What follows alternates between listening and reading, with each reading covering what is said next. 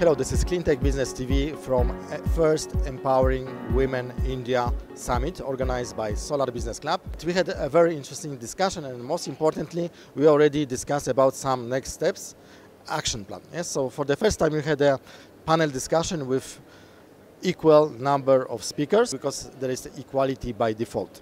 And uh, we have together with us uh, Starlin Sharma who is uh, working for the first uh, network actually which is empowering women, especially in the startup space, yes?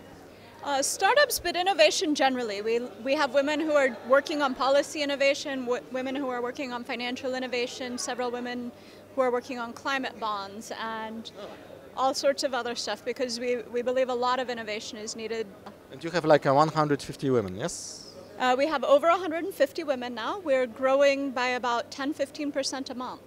So Rashi, uh, you know, we had this first empowering women in India summit and I would like to thank you yes because it was our actually first summit uh, around the world yes and I would like to thank uh, Rashi because you know I was so busy with other events in Brazil etc and Rashi took care of everything.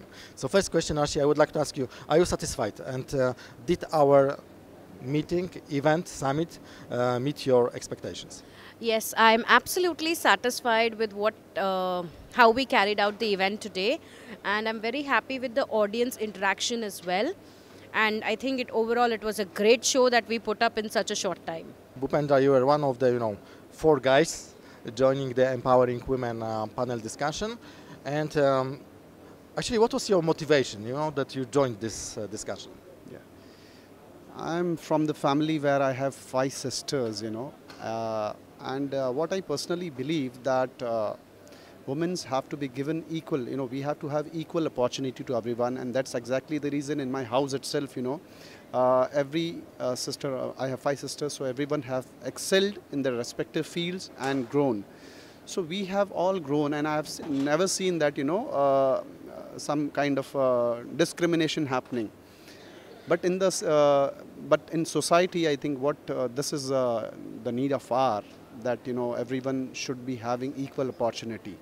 And the purpose uh, of attending it was to convey that you know as a society you know it's time that we start treating everyone equal. What was your idea to become uh, entrepreneur and in such difficult and uh, to be very complicated and boring you know industry um, my entrepreneurship journey started with a symposium where it was challenging women that they are not, they are only meant for some submissive works.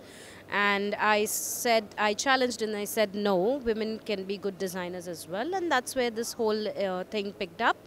And I started with very niche robotics, where we were uh, starting to work with defense and government organizations. I slowly diversified into renewable energies and then I diversified into storage, into clean tech. And I think it is not boring at all. If you love your work, then it's even more interesting. So this would be your message to uh, young women who are now thinking about future, yes? Yes, the message I would like to give to young women is that follow your heart.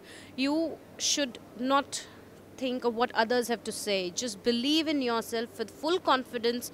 Go and get what you want. Just reach out for your own goal, and I think you will be 100% successful. There is no way that anybody can stop you from achieving. I think that uh, clean tech and climate is just such a, a burgeoning field, and I think that it's a really exciting field with a lot of really smart people and a lot of people that are very open-minded to the and, and supportive of the idea of having women um, here in India, we find that many of the leading organizations have women in their most senior roles across the organizations, and I think that uh, you know it, there are instances in which women join smaller companies and they don't see that, and very often women are the ones that are you know, really working hard and they don't necessarily see each other, but there's a lot of women in this space. Women have so much value to add, whether it be on the science and technology side or whether it be around business development, understanding product and customer, and how do you take product and, you know, how do you join product and customer in a way that is going to be very meaningful, particularly since a lot of women are decision makers about Uh, How did you like, you know, the note of Professor Weber, yes, who uh, made incentives in order to get more more women, and afterwards these women brought him uh, more business. Women are very sincere and uh, hardworking, and uh, so if if you know it is automatically you know the results are going to come if if, if you know women are hardworking, uh, you know, and also very patient. So if these all properties are there, you know, in, uh, in individual, I think uh, definitely it is it is going to be excelling your company. And we do have, uh, you know, various departments. We do have women employees. In fact, our corporate communication team is headed by a woman. Uh, HR, uh, production planning, uh, you know, uh, your quality, supply chain, we have women all across. Even though in our factory, which is almost 50 kilometers outside, outskirts of uh, city, still, you know, as, and as a company, we also provide transportation. So uh, I, I think it's very, very important uh, for our industry to have a mixed culture. Your company is not yet so big, yes, but maybe in the future it will be huge, yes. And uh, uh, will you also empower empower men? For example, when you become a chairwoman, would you give the position to men, or you just reserve for women? No, I am talking of gender equality. So here, whenever my company goes global, I will make sure that there is equal representation from men and women because that is what is gender equality. I cannot say that I will reserve only for men or I will reserve only for women. It will be absolutely equal. And uh, it will depend on the skills, not of the gender. Yeah? It has to be dependent on the skills because if you have the skills, you have, you, your gender doesn't matter. You will achieve it. You are not afraid that one day some woman will take your post, your position? So I think uh, that question was asked uh, by Rashi. See, what I feel is, you know, uh, it's fear, which actually drives you other way, you know. And when the mind is without fear, the head is held high, you know. So that's what uh, Dr. Rabindranath Tagore also said. So I think it's all fear. The moment you feel that, you know, it's basically if you're you're only giving reasons to something, you know, you need to be strong. You need to empower yourself and overcome any situation. I don't think that you know there is a dif- discrimination or differentiation happening. If at all it is happening, you need to empower yourself and overcome that situation. Besides the fact that you agreed to cooperate with us, yes, uh, how do you imagine that we make the next steps? Well, I think the event was really powerful. It's great to bring together a group of people who are from the business community to understand and share experiences around uh, climate and gender. I think that it was a brilliant finding or discussion that we had around how uh, climate technologies are becoming a business imperative and, and you know, we find that businesses that are using and adopting them are, are more successful, and we also discussed that businesses that have more women involved in the leadership roles are also more successful.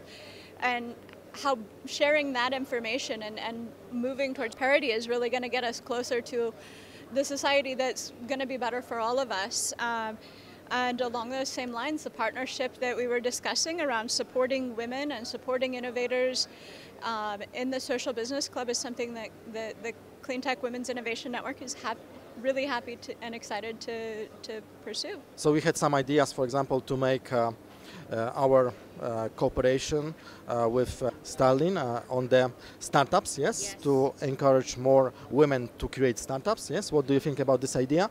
Also about this global MBA to give some maybe some incentive to women, yes, to bring them in order to have even better business. What do you think about these ideas? And what would be also your suggestion for the club? You see, for the action. Uh, both these ideas are very good and uh, they have to be very judiciously implemented with thorough screening and implementation. For the club, I think we are going on the right direction. We just need to have more effective action plans and we need to make all the members effectively work towards it. Like from starting, which I did just today, I made him, uh, I have made Muzard change uh, the way he would introduce his wife. Oh. Yeah. So that makes a first change, and we all can start the change from ourselves. So for the club, I think each one of us should start contributing and making a change from ourselves first. Exactly, and we will continue in Abu Dhabi, yes, Yes. and our first global empowering women summit. And uh, now, if uh, Rashi agrees, she will be in charge of organizing this summit. Oh, sure. Thank you so much. I would do the honors. Thank you so much. So you see, like uh, we can only be stronger working together, cooperating together between men and women. Thumbs up for Solar.